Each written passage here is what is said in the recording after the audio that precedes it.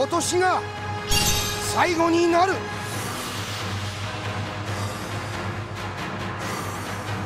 でも歴代のシュートボクサーたちがこんな試練を力に変えてきたのも事実。まさに宍戸本人がそうだったじゃないか。最後に勝つ者になろうじゃないか。さあして見てくれ。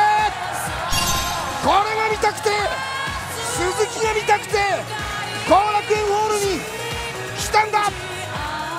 そんなお客さんがその身を魂を削るような一戦一戦に引きつけられるものがどんどん増えている。鈴木ならそんな声援が今夜最高潮。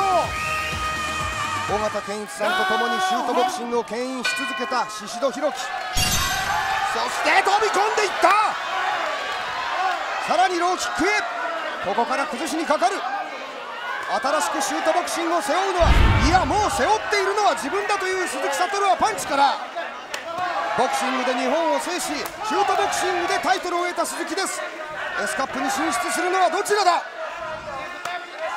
さて尾形さん、はい、前回の対戦では宍戸がいきなり胴回し回転蹴りを見せましたが今回も飛び込んでいきましたね。そうですねまあちょっとあの相手の気をつくというかですね。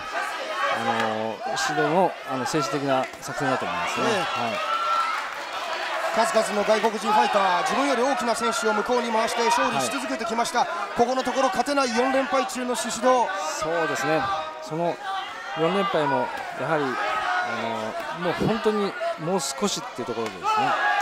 あの負けてますから、はい、まああの少しその強かった頃の勝ちを得てた頃の自分を取り戻してほしいですよね、そうですね、はい、そんな中この宍戸の出だしどうでしょう？バックブロードンピシャンが倒した！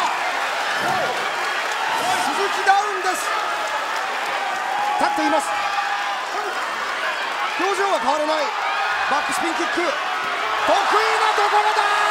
シッシストシストシストシスト鈴木立てない1ラウンド1分30秒 KO になりました1ラウンド宍戸選手の KO が争奪後楽園ホールただいまの試合 KO 誰がこれを予想した1ラウンド1分30秒 KO 勝利はずっとずっとシュートボクサーだった宍戸弘樹